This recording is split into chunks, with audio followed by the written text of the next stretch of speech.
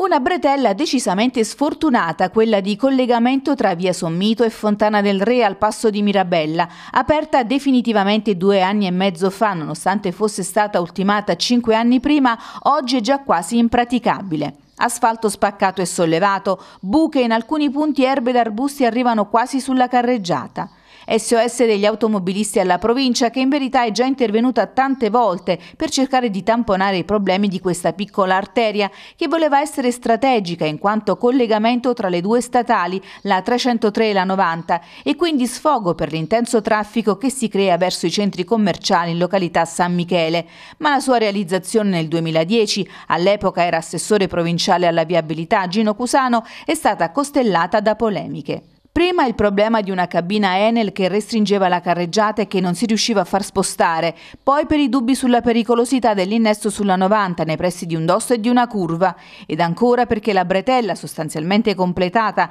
e per un periodo utilizzata dagli automobilisti senza che vi fosse il collaudo, per ben cinque anni non è mai ufficialmente entrata in funzione, nonostante i solleciti del comune di Mirabella. Nel 2016 finalmente la soluzione con il parere favorevole di ANAS e provincia di renderla percorribile a senso unico dalla rotatoria di via Sommito in direzione di Fontana del Re, con obbligo di svolta a destra verso Grottaminarda, adottata proprio per ovviare alla pericolosità della svolta e dell'immissione da sinistra. Oggi il problema dell'asfalto che sembra aver subito un bombardamento.